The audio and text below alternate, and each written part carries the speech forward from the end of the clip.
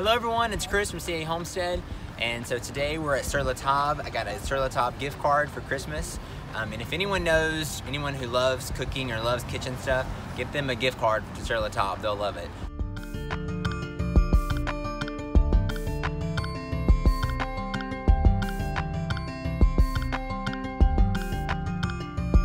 So I'm gonna take you guys in and kind of show you what what I'm gonna get. Um, I have a couple things in mind, um, but I'll show you everything uh, later. But we're gonna head on into La where I can spend an entire day at.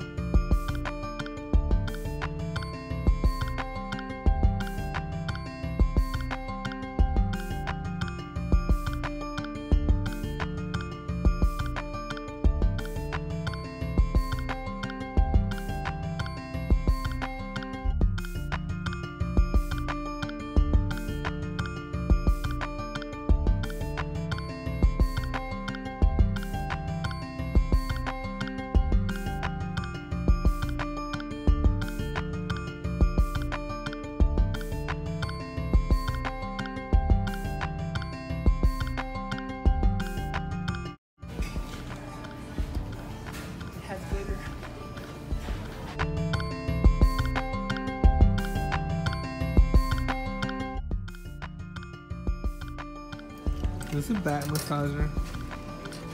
Oh, What's this for? it's for like dough. It puts holes in it. Why do you need holy dough? well, not the stuff That's fall what it is. Yeah, it's a dough docker, so it doesn't bubble up whenever you cook it. It's a back massager.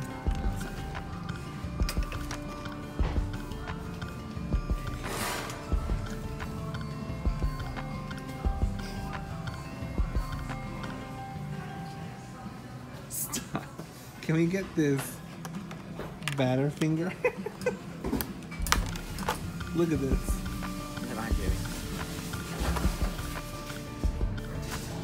How much is that one? This is 50. They done lost their minds at Sur La No. This is my favorite vanilla though. These cherries are really good.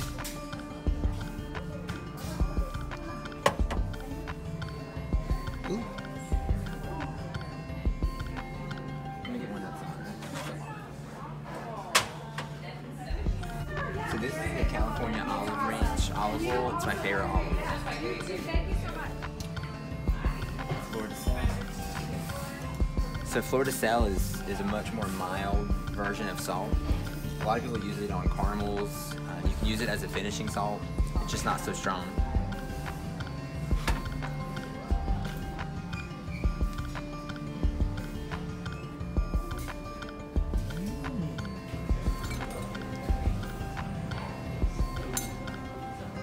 I had one of those in my cake decorating kit. So, do you?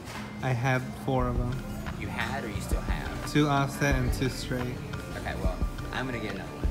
I don't have them anymore. I don't know where they are. You can never have too many offset spatulas. These are really, really handy for cooking. Um, they're primarily used for cakes, but they're really handy for cooking. They're it makes it easy to flip things. Um, and I, ha- I have to have one. I don't have one. So this is the Cole & Mason pepper grinder.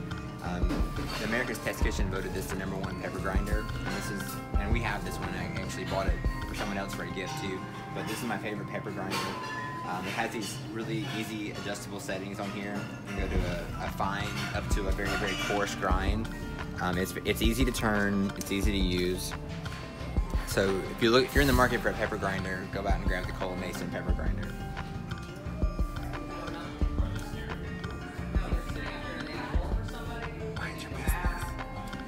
This is an ice cream scooper, um, but it works really, really well as cookies. Um, if, if you make a lot of cookies, or even if you don't, you should get one of these because then you will make a lot of cookies. It makes it really easy. You just scoop out the dough, um, and then it makes a perfect ball on the cookie sheet.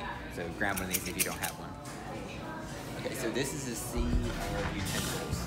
So a couple of these are must-haves. Of course, every kitchen has to have a whisk uh, for batters and for eggs such a list. Um, a wooden spoon is also a must. Um, and I also like to have one with a flat top to it, something like this, so that you can scrape the bottom of, of a pan. It works really well for that. Um, also, spatulas. So I just talked about the offset spatulas. Um, every kitchen should have one of these. It makes it easy for flipping things, uh, especially in the pan if it's if they're small. So every kitchen also needs a ladle. Um, here's one that's it's black and red. Um, every kitchen needs a, a strainer for when you're frying. I, I love these little wire strainers.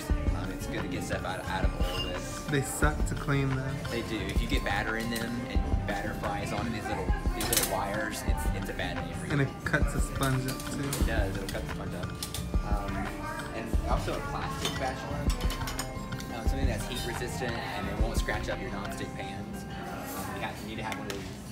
So here's a bench scraper. Um, if you make dough, uh, if you make bread, um, this is really makes getting the dough off of the board really easy. Um, here's some some tongs. Every kitchen has to have tongs.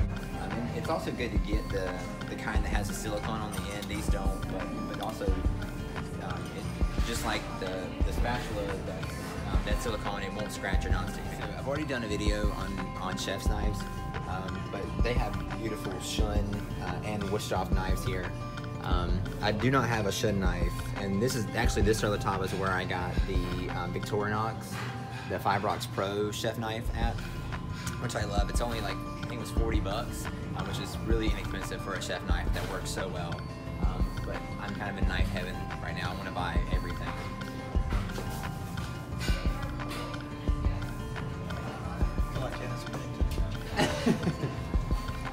Do eventually want to get a, a Japanese knife. So if you're gonna have a good cutting, a good chef's knife, you need to have a good cutting board. Um, so Boos makes a fantastic cutting board. Um, my favorite one is actually made of teak. Um, it's the Pro Teak um, cutting board. You can just Google that. I got mine off of Amazon. Um, but so just a little bit on cutting boards. I don't really like the, the edge grain boards because if you think about wood, wood is kind of built like a straw. So if you get you get one with this edge grain here, water water has a tendency to seep into it if it gets dry or if the finish comes off of it. Um, so definitely invest in a good cutting board if you're gonna have a good chef. So I want to take a second to show you guys what I got from going to Sur La Table with my Christmas gift card. Uh, and of course, I go to Sur La Table all the time. It was a fantastic Christmas present. Um, so Angel and I have been picking this morning. We went to a couple barns and got some stuff out. Um, so this is the Saturday no shower Chris version. Um, but I still wanted to take a second to show you guys what we got. So, so let's get started.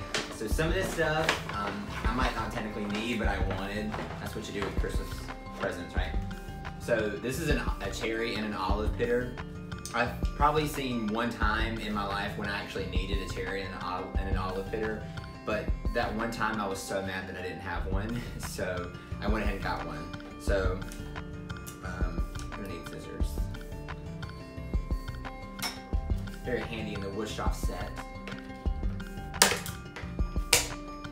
So it's pretty easy to use. So you just put the, the cherry or the olive in there. I mean, this little piece comes down and then knocks the, the pit out of it. Like I said, I've only really seen one time whenever I needed one of these, but that one time I was so mad that I didn't have it. So, and I love kitchen stuff. Alright, okay, what's next? So I got some vanilla. Um, so this is the Nielsen Massey uh, vanilla. I hope I'm saying that right. I, I love this vanilla. Um, it's it's kind of pricey, but I, I really do like it. Uh, I can taste the difference too whenever I make cookies or something that has a lot of vanilla in, especially with baking. So I got some vanilla. I got some kitchen towels. So this is 100% cotton kitchen towels. Uh, if you're making bread um, or something that you have to cover and let rise, if you use something that, that has a lot of lint on it, sometimes you get lint on your food. So if you use 100% cotton kitchen towels, you won't get lint onto your food. Um, and, and these are also nice. They have a nice design to them. Um, there's there's two different ones in the pack. I really like these. Angel was really happy because this matches our set of Rae Dunn mugs. So I got Angel's approval. Alright. So these are kind of funny looking. So, so these are actually egg poachers. So what you do is you sit these down into boiling water, and then you actually simmering water, uh, and then you crack an egg into these cups, and it poaches the egg for you. So sometimes it gets kind of complicated to drop an egg into boiling water and actually have it to come out looking like you want it to look. So I wanted to try these out. I haven't tried them before. I mean, actually, there's a little stick that you're supposed to buy with these that you see these little holes. So the stick actually picks up these little pockets um, and it makes it a little easier to get it out of the water. I did not buy the stick, so I might struggle a little bit with these. But um, but I'll try the egg poaching with these and I'll let you guys know how it is. I've been wanting to buy them for a while, but I just haven't. And I talked about this in the video. So this is an offset spatula. People use it primarily for baking, but this is really, really good for cooking. It's, it makes flipping things very easy. Um, so I, I, I, was mad that I didn't have one of these, so I, whenever, whenever I got my gift card, I went and grabbed one. So this is kind of funny. My friend James was with us and at checkout said, yeah, just throw, just throw these in. So I went ahead and got them and I was like, whatever, they're gummy bears. Um, little did I know, these are gummy bears that are infused with Dom Perignon uh, champagne. So I'm actually excited to try these. Now, I think there's like 20 or 30 gummy bears in here, and this was $10. So I- am excited to try them. It says made with Dom Perignon vintage champagne. These sophisticated bears sparkle in flavors of brut and rose. So we're gonna give them a try in another video. And then, so the gift that I was most excited about, so this is a Cuisinart Mini Prep food processor. So this one was actually on sale. I think it was like 28 bucks for this. Um, and I'm to take it out of the box for you.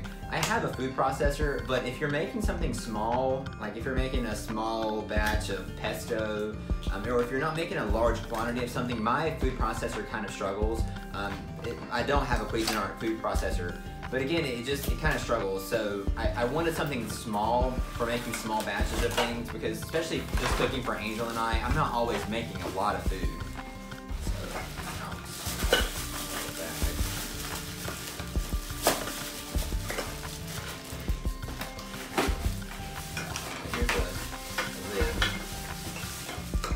So you see, it is really mini. Small. I'm excited about this though. I mean, this is this is the perfect size for me. And here's the face to it. It's nice and pretty. It's got a copper finish to it. So I, I, am quite excited to try this out. One of the best things about the Cuisinart food processor, um, as reviewed by America's Test Kitchen, they, they really liked it because of how close the blade, this bottom blade, goes to the bottom um, of the container here. Because a lot of food processors, they don't, the blade doesn't go uh, to the bottom far enough, so then you get food stuck in there that doesn't actually get processed. So Cuisinart does a really good job with their food processors. So I was happy to get one on sale for 28 bucks. Um, and it being a, a, perfect size for Angel and I. So again, I'll, I'll do I'll do a video. I might make some pesto um, or something in the in the food processor and show you guys what I think about it. But yeah, that's that's my little trip to uh, to Sur. So you guys check out your local Sur. I'm sure you'll find something in there that you need, um, or something in there that you won't, like an olive pitter. Um, but yeah, thank you guys for watching, and I'll keep you updated on these products. Don't forget to share, like, and subscribe and comment below if you have any of these products or if you'd like me to find different products for you guys and do a review on them. And I wanted to give a special thank you to Angel's parents for the Sur La Table gift card. I really appreciate it. Thank you so much.